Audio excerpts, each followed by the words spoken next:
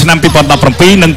2018 Gensburg ផលិតដោយជនជាតិអាល្លឺម៉ង់វត្ថុធាតុដើមអាល្លឺម៉ង់ការផលិតប្រកាន់ភ្ជាប់តាមច្បាប់បន្សុទ្ធនៃស្រាបៀរអាល្លឺម៉ង់គ្រប់ដំណាក់ស្រាបៀរ Gensburg ពោពេញទៅដោយការទទួលខុសត្រូវខ្ពស់ដោយឆ្លងកាត់ការពិនិត្យធ្វើតេស្តយ៉ាងល្អិតចំនួន500ដង Gensburg a real German premium beer Right ho Yeah Right ho បាទខ្ញុំបាទក៏សូមជម្រាបសង្ខេបនៅប្រវត្តិនៃការប្រកួតកន្លងមកកីឡាករមុតខ្លងខ្មៅ4ប្រកួតកន្លងមកនេះប្រកួតលើកទី1គេឈ្នះអ៊ុំម៉ូណេតដោយពិន្ទុប្រកួតលើកទី2ឈ្នះ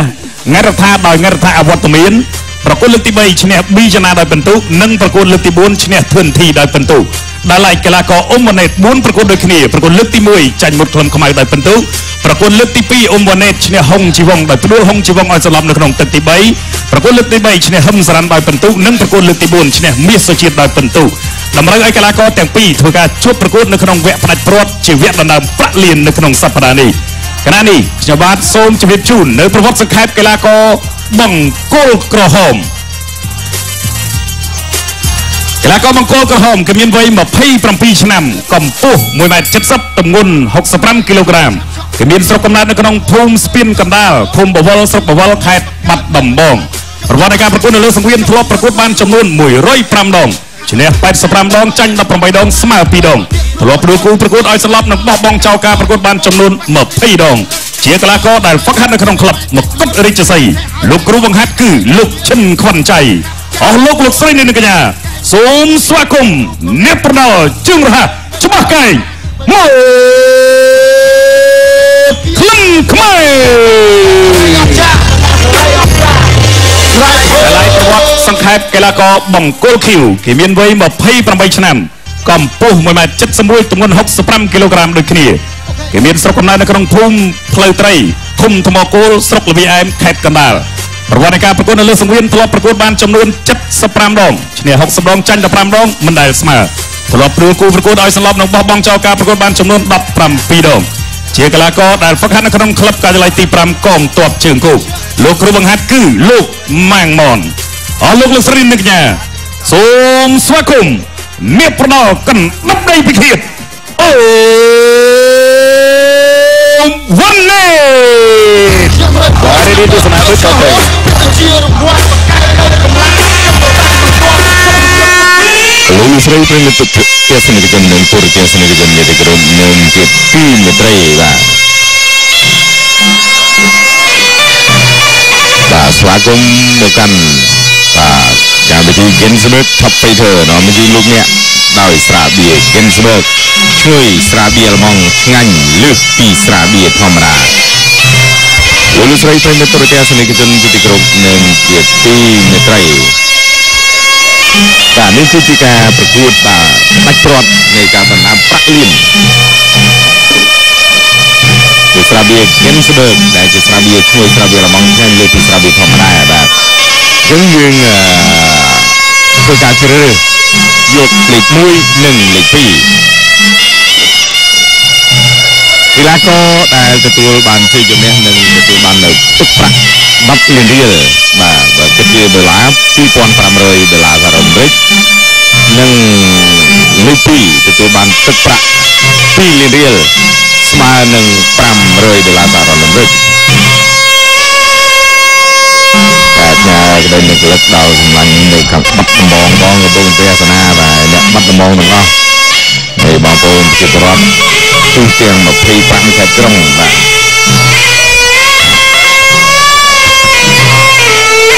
ពិសាស្រាបៀ Gensburg Complete Canada ក្រវិលកំពង់មានឱកាសឈ្នះរង្វាន់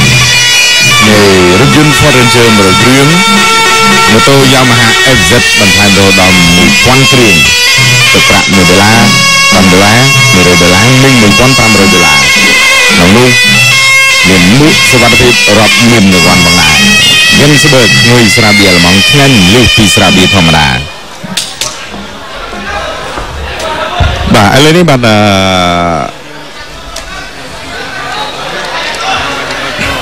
លោកញ៉ាកដាលបាទកំពុងតែប្រាប់អំពីអខណ្ឌិកៈ បាទដល់កីឡាករទាំងពីរបាទលោកយឹមសុខុមហើយចក្រមទាំង5មានលោកលងវណ្ណថនលោកម៉ាក់សមឿនលោកលងស៊ីលីនលោកគ្រាសុភាពនិងលោកព្រំសុភា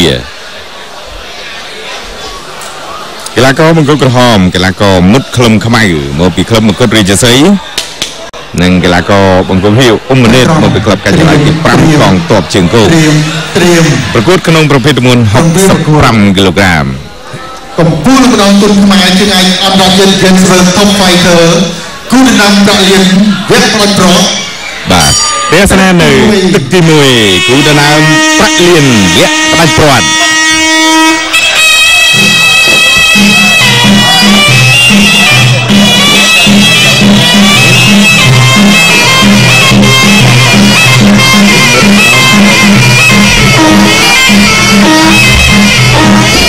យ៉ាក់មកយើងស្រាំលោកឆ្វេងម្ដាយផ្លាច់មួយបាទយ៉ាក់ស្រាំពីបនេតយ៉ាក់ស្រាំ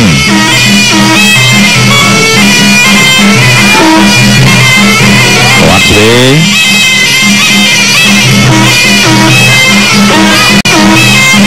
យ៉ាក់មកយើងស្រាំខ្ញុំស្មៅធាក់ស្រាំ គាត់ឆ្វេងធាក់ស្រាំគាត់ជើងក្រោមពីក្លឹមក្បៅចាគឺមិនមែនលុំលុំទេបាទគឺដណ្ដើមប្រាក់លៀនបាទ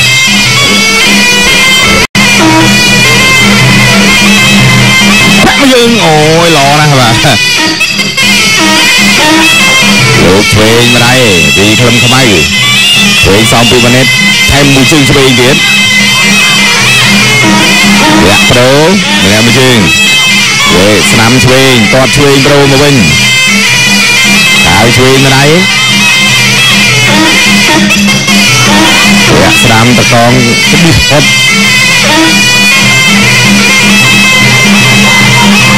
បាទគាត់ស្ដាំតតឆ្វេងលុកកញ្ចប់មុខតតឆ្វេងម្រានប្រូឆ្វេងមកវិញស្ដាំឆ្វេងពីក្លឹមខ្មៅធាក់ស្ដាំគាត់ឆ្វេងបន្ថែមពីបណេតគាត់ឆ្វេងក្លឹមខ្មៅ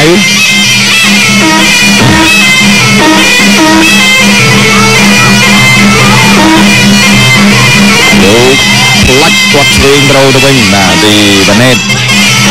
លោក កណាប់ដៃឆ្វេងបាទទៅលេងទៅមុខបណេត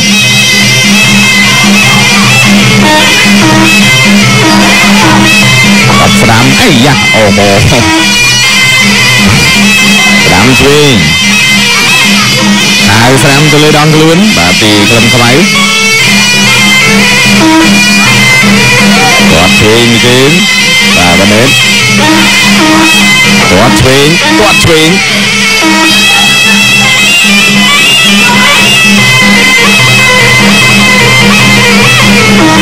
បាទបើនិយាយពីទឹកប្រាក់វិញបាទគឺខុសគ្នា2000ដុល្លារសារ៉ុនដេកបាទគឺ8លានរៀលអញ្ចឹងគឺมันអាចប្រហែលបានទេឡើងជុំជើងស្រាមសងឆ្វេងមកវិញវិញបញ្ចេញកែងឆ្វេងមួយបាទក្លឹមខ្មៅល្អណាស់បាទជុំជើងឆ្វេងរបស់បណេតចាប់ទឹកទី1បាទបដូរបានរឿងគិតបាទ ផ្លេចខ្លួនផ្លាប់ក្តារមុខឥឡូវហ្នឹងបាទតែយើងមើលយើងឃើញច្រឡោះអញ្ចឹងវាសំខាន់គឺថាធ្វើអីក៏ត្រូវតែមានទីប្រឹក្សាអ្នកចាំមើលដែរបាទអ្នកឲ្យយោបល់ដែរបើនឹងច្រឡោះច្រឡោះបើណែតែអ្នកអនុវត្តពេលខ្លះទៅទៅមួយសាសិនហើយស្ដាំលូកឆ្វេងឡើងជង្គង់ឆ្វេងបន្ថែមបាទពីវ៉ាណេតឡើងជង្គង់ស្រាំរបស់វ៉ាណេតជង្គង់ឆ្វេង ជង្គង់ឆ្វេង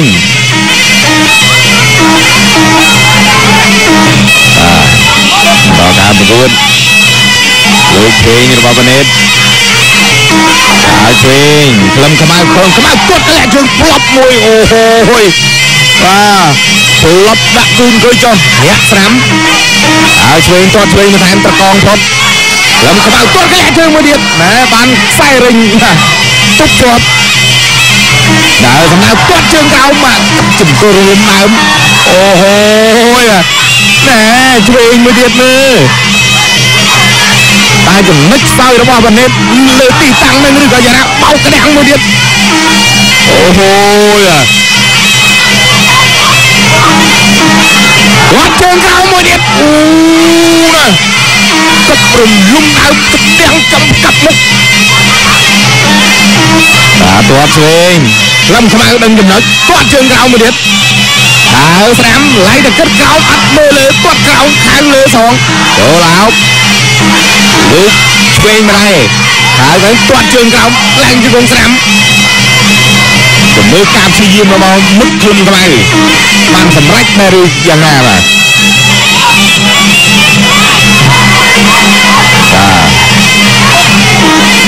លោកកណាំដៃឆ្វេងកាច់ម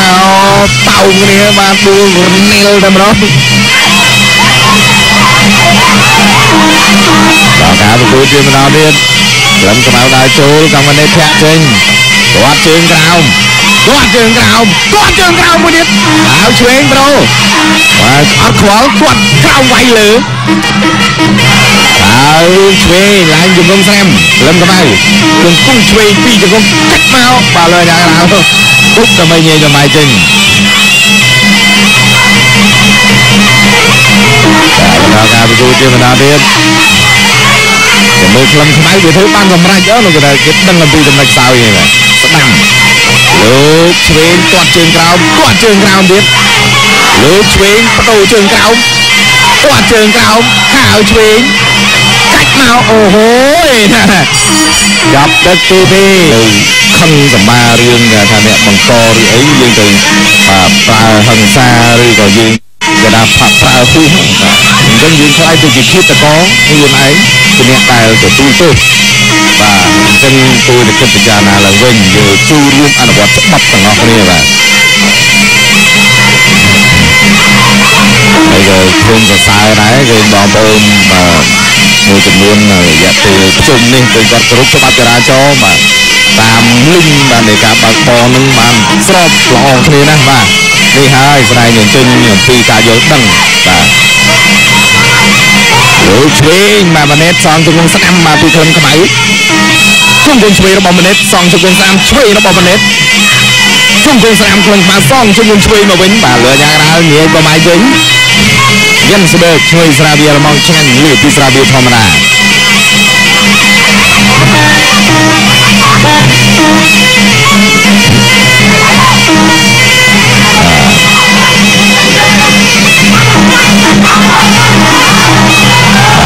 លោកកណាប់ដៃជើងលាក់ស្រាំផុតលោកចាប់មកផ្លាច់ឆ្វេងមួយទៀតចូលអោបមកឡើងជង្គង់ជង្គង់ប្រូបាទតម្លៃដែលលោកយឹមសង្គមបាទកំកំគៀកគ្នាបាទផ្ទះពីរដងបានគាត់ប្រឡែងខ្លាចប្រហែលប្រហោងបាទលោកក៏ចាប់មុខម្ដាយផ្លាប់មួយបាទពីក្លិនកំៃ គាត់ឆ្វេងគាត់ជើងក្រោមប្រូចូលអោបឡើងជង្គង់កាច់បោកក្តាំងមួយអូហូ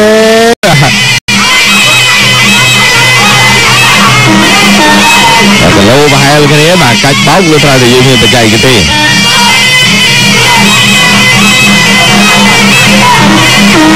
លោកឆ្វេងម្ដាយចូលអោប2ម៉ានីតបាទលើយ៉ាងណានេះចំបាយវិញ ហើយថាស្រឡាញ់គ្នាគឺមាននរណាជាងអ្នកបដៅទេបាទគឺចូលស្រឡាញ់អោបស្រឡាញ់អោបបាទបាទឆ្វេងម្ដាយខៅស្ដាំបន្ថែមដាច់បោកឡើងជង្គង់ស្ដាំប្រូមកវិញបាទពីកូនក្បាលជង្គង់ស្ដាំរបស់មនិតឆ្អែនឆ្វេងមួយទៀតស្ដាំប្រូបាទបដូរស្ដាំមួយទៀតឥឡូវញ៉ាំកណ្ដាលញ៉ៃចំបាយចេញបាទក្លឹមខ្មៅឡៃគិតជើងក្រោមបាទភ្លេចគិត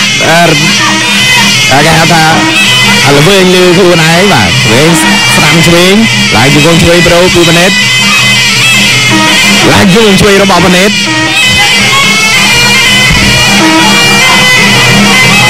បាទលើញ៉ាកណ្ដាលញ៉ែចំបាយចេញអ្នកអ្នកស្វាយរៀងហ្មងបាទកំពុងតែទេសនាបាទចប់ទី3ទី3បាទឥឡូវយើងឈានមកដល់ទឹកទី4បាទ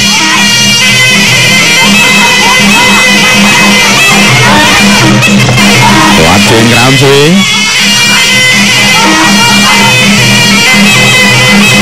លោកម្ដាយឆ្វេងថែមស្រាំមួយទៀតបាទក្លឹមកម្ៅលោកឆ្វេងពីបាណេ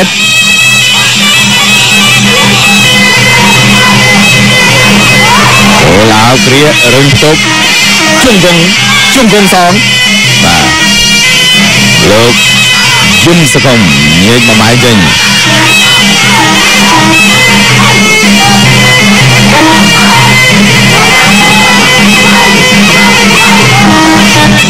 ហើយមកចូលអោបព្រៀបទុកនឹងមកគោវិញលើអាញាកដាលឡើយបំបីចេញសិនកុំឲ្យអោបគ្នានេះអោបគ្នាទេបាទកុំស្រឡាញ់គ្នាទេបាទបើតែស្រឡាញ់នឹងគឺស្រឡាញ់ស្វាគមន៍ឲ្យជង្គង់នឹងកែងបាទ ឆ្វេងចូលអោបមកឡើងជង្គង់ស្រាំក្លឹមក្បៅជង្គង់ស្រាំស្រាំស្រាំបាទលើអាញាកដាលលេងមួយម៉ៃវិញដល់ការប្រគួតជាបន្តទៀត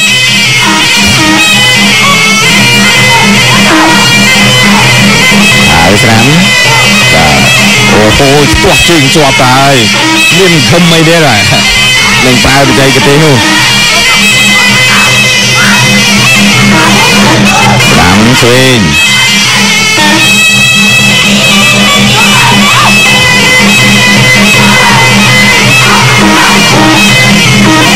លោកកណាប់ដៃឆ្វេងចូលអោបមកកាច់មកណែ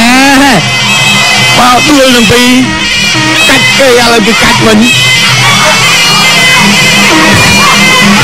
ពីមកចូលអោបទៀតឡើងជង្គង់ឆ្វេងសងស្ដាំទៅវិញក្នុងទឹកថែមឆ្វេងមួយទៀតពីក្លឹមកម្ៅជង្គង់ស្ដាំសងឆ្វេងមកវិញពីវ៉ាណេតបាទកញ្ញាកន្លងងារចម្លៃចេញប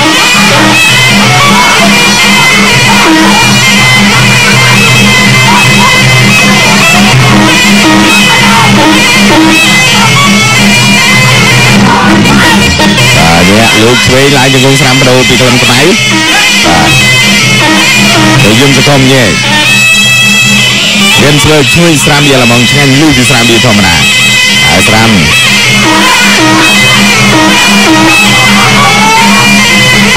កមកអកសើដល់ទៅលូកទៅទាត់ឆ្វេងពីវ៉ាណេតទាត់ស្រាំរោទៅវិញ ចូលអោបឡើងជង្គង់ស្រាំជង្គង់ឆ្វេងជង្គង់ឆ្វេងចង់ទឹកទីចង់ទឹកទី4ទទួលបានចំណាត់ថ្នាក់លេខ1បាទនេះថាឈ្នះក្នុងការប្រកួតនេះទទួលបានទឹកប្រាក់10លានរៀលបាទហើយអ្នកចាញ់ទទួលបានទឹកប្រាក់បាទ2លានរៀល បាទជំរឿតាមនឹកក្លឹមខ្មៅឬអង្គវណេតដែលជាអ្នកទទួលជ័យជំនះក្នុងការប្រកួតដំណាំប្រាក់លៀនបាទលោកឆ្វេងឡើងជង្គង់ស្ដាំពីជង្គង់សងជង្គង់ប្រូទៅមកជង្គង់ស្ដាំជង្គង់ស្ដាំប្រូបាទលើញ៉ាំណាញ៉េយកមកចេញគេដាក់ដល់វគ្គរៀនថមថយអាសាអោបគ្នាបាទលោកបាទទុំកសឹងម្រៃបាទទាត់ខ្យល់មួយបិទដៃហោះមួយបាទ ជង្គង់ជង្គង់ជង្គង់ស្រាំអមជង្គង់ឆ្វេងជង្គង់ស្រាំប្រូស្ដាំទៅមកបាទលើញ៉ាំកណ្ដៅងាយយកមកចេញ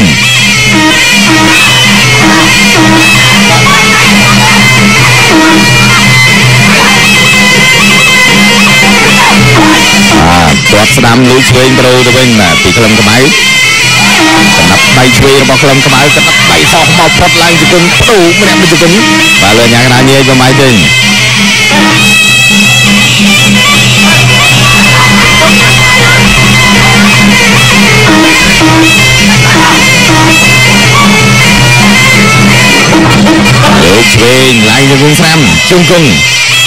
លើញ៉ាកណ្ដាលញែកបំបាយចេញ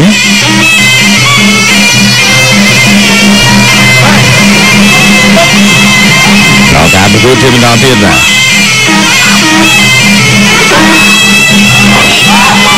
ន្តទៀតបាទហើយឆ្វេងឡើងជង្គង់ស្រាំជង្គង់ជង្គង់បាទបំបាយ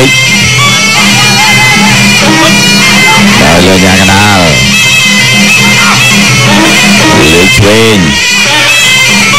ធាក់ទៅវិញលូកដល់ទេវាវណេតវណេតដើរចូលលោកឆ្វេងកណ្ដាប់ដៃរបស់វណេតលោកឆ្វេងទាត់ឆ្វេងរ៉ែ នគុំខ្មៅដើរចូលឡើងជង្គង់ឆ្វេងបាទអូបើយើងសង្គមញាយកម៉ៃចេញយើងឃើញថានៅសល់តែ40វិនាទីទៀតទេបាទនឹងចំទៅការប្រកួតហើយឆ្វេងការប្រើកម្លាំងនេះហាក់បីដូចជាការប្រើទាំងគេហៅថាមិនមានកម្លាំងបាទ បាទអូយមេដៃជួយញ៉ាំញញើរបស់វណ្ណហេតទៅលើបាទក្លឹមខ្មៅមកចូលខ្សែរិញបាទអូយអោបមកឡើងពីវងឆ្វេងរបស់វណ្ណហេតសងស្ដាំទៅស្ដាំលឿនឆ្វេងមួយទៀតបាទលើយ៉ាងណាបបាយចេញហៅស្ដាំមកដែរហៅឆ្វេងប្រូម្នាក់ម្នាក់ឡើងពីកងជួងស្ដាំប្រូមកពីវណ្ណហេតទឹកទី5ក៏ត្រូវបានបញ្ចប់បាទ លទ្ធផលយ៉ាងណានោះបាទលោកហេរ៉ូនឹងធ្វើការប្រកាសជូននឹងមានការប្រគល់នៅរង្វាន់បាទទឹកប្រាក់ជូនដល់កីឡាករដែលបាទជ័យលេខ2លេខ1និងលេខ2បាទអ្នកឈ្នះបានរង្វាន់10លានរៀលអ្នកចាញ់ក៏បានរង្វាន់ដែរប៉ុន្តែ2លានរៀលតែមកដល់ដៃរបស់ខ្ញុំរួចទៅហើយហើយសូមជម្រាបជូនថាការប្រកួត នៅក្នុងសប្តាហ៍នេះលទ្ធផលគឺឈ្នះដោយឯកច្ឆន្ទដោយចក្រមទាំង5រូបផ្ដល់លទ្ធផលទៅដល់កីឡាករបាទដែលឈ្នះនៅក្នុងសប្តាហ៍នេះគឺឈ្នះដោយឯកច្ឆន្ទតែម្ដងអរគុណដូច្នេះសូមវត្តមានអាយដាមលោកជំទាវអស់លោកលោកស្រីនិងកញ្ញាប្រិមិត្តទស្សនិកជន និងទូរទស្សនិកជន បាទអបអរសាទរដល់កីឡាករបង្គោល អ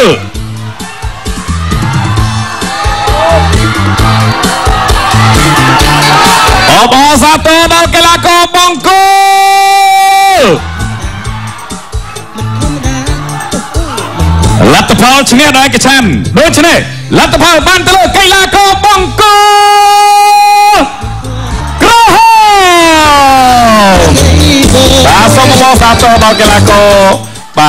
មុតក្លឹមខ្មៅបាទអរគុណដូច្នេះគណៈនេះខ្ញុំបាទមានកិត្តិយសសូមគោរពអញ្ជើញអាដាមវ៉ែនបាទវ៉ែនផាតទីប្រឹក្សាសហព័ន្ធគណៈបដាល់គុណខ្មែរនិងអាដាមទូបាទអាដាមអាដាមស្រីទូសុយសុខុមតំណាងអង្គភាពកីឡាក្រសួងមហាផ្ទៃបាទជូនប្រាក់រង្វាន់ជ័យលាភីដល់កីឡាករលេខ2បាទសូមគោរពអញ្ជើញ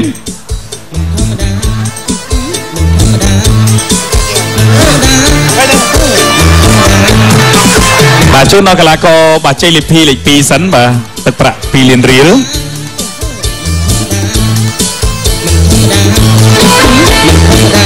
អរគុណជាបន្តខ្ញុំបាទមានកិត្តិយសក៏សូមគោរពអញ្ជើញលោកសាស្ត្រាចារ្យមុលកដោអគ្គលេខាធិការសហព័ន្ធកីឡាផ្ដាល់គុណខ្មែររួមនឹងឯកឧត្តមឧត្តមសេនីយ៍ឯកម៉ាក់សំអុលតំណាងអង្គភាពកីឡាក្រសួងមហាផ្ទៃបាទលោកជូនប្រាក់រង្វាន់ជ័យលេខ2លេខ1ជូនទៅដល់កីឡាករមុត ក្លឹមខ្មៅបាទសូមអបអរសាទរ Welcome to DJ Cat Cat. បាទអរគុណច្រើនចំពោះវត្តមានដ៏ពងខ្ពស់ពីសំណាក់លោកសាស្ត្រាចារ្យក៏ដូចជាអាដាមអឺបានបានចំណាយពេលវេលាដ៏មានតម្លៃមកចូលរួមបាទអឺក្នុងការផ្ដល់នៅការលើកទឹកចិត្តក៏ដូចជាប្រគល់ជូននៅជ័យលាភីទៅដល់កីឡាករបាទទាំងពីររូប បាទគឺកីឡាករបាទមុតក្លឹមខ្មៅនិងកីឡាករបាទបាទអ៊ុំវ៉ាណេតបាទមុតក្លឹមខ្មៅអតីតបាទអែមក្លឹមខ្មៅហើយអ៊ុំវ៉ាណេតនេះអតីតបាទមនមនកំឡុងបាទខ្សែស្លាយតកូលបាទអរគុណច្រើនឥឡូវនេះការប្រកួតនៅប្រាក់រង្វាន់ក៏បានឈានចូលមកដល់បាទទីបញ្ចប់ អរគុណអញ្ចឹងរងចាំតាមបានទស្សនាការប្រកួតគូមិត្តភាពអន្តរជាតិមួយគូចុងក្រោយជាបន្តទៀតរវាងកីឡាករកម្ពុជានិងកីឡាករថៃបាទដូច្នេះសូមកុំទាន់ជើញតាណានិងរងចាំទស្សនាការប្រកួតគូមិត្តភាពអន្តរជាតិចុងក្រោយមួយគូ